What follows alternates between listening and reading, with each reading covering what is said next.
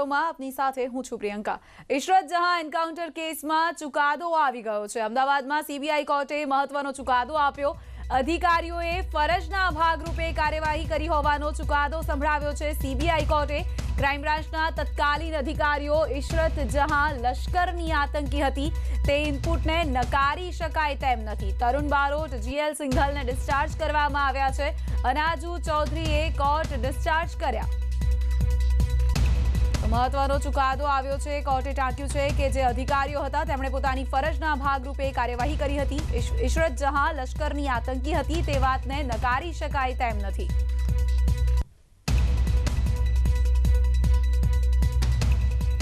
મહુવામાં મારામારીમાં ઘાયલ યુવકનું મોત નિપજ્યું. દુધાળા ગામમાં હોળીના દિવસે મારામારી થઈ હતી.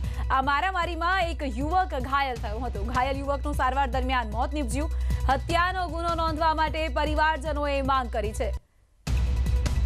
મારામારીમાં જે યુવક ઘાયલ થયો હતો, તેનું સારવાર દરમિયાન મોત નીપજ્યું છે. દુધાળા ગામમાં હોળીના દિવસે મારામારી થઈ હતી, ત્યારે હવે પરિવારજનોએ માંગ કરી છે કે હત્યાનો ગુનો નોંધવામાં આવે. તો મહુવામાં હોળીના દિવસે નજીવી બાબતમાં મારામારી થઈ હતી. આ મારામારીમાં એક યુવક ગંભીર રીતે ઘાયલ થયો હતો. ગંભીર રીતે ઘાયલ થયેલ યુવકને સારવાર માટે ખસેડવામાં આવ્યો હતો. સારવાર દરમિયાન ઘાયલ યુવકનું મોત નિપજ્યાના સમાચાર મળી રહ્યા છે. પરિવારજનો માંગ કરી રહ્યા છે કે હવે હત્યાનો ગુનો નોંધવામાં આવે અને આરોપીઓને સજા કરવામાં આવે.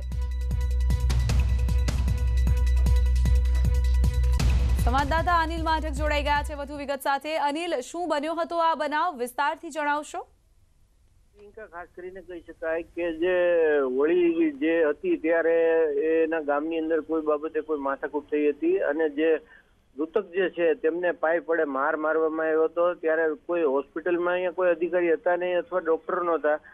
ત્યારે એમણે પ્રાથમિક સારવાર લઈને ફરી પરત પાછા જતા રહ્યા હતા અને આજે એ જે યુવક જે છે એનું મોત નીપજ્યું હતું.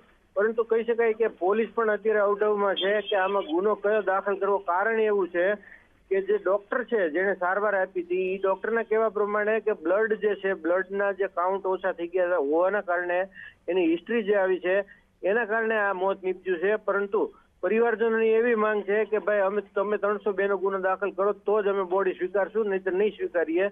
એટલે પોલીસે અત્યારે પેનલ પીએમની વ્યવસ્થા કરી છે. પેનલ પીએમ થયા બાદ ખબર પડે ચોક્કસ જાણ કે આમાં કયો પ્રકારનો ગુનો દાખલ થાય છે. જી, અનિલ, આભાર આપનો આ તમામ જાણકારી માટે. દ્વારકાના રાવલ તેમજ આસપાસના વિસ્તારના ખેડૂતોને વર્તુ બે ડેમમાંથી સિંચાઈનું પાણી મળતા ખેડૂતોમાં ખુશીનો માહોલ છે. ઉનાળુ પિયત માટે ખેડૂતોને સિંચાઈનું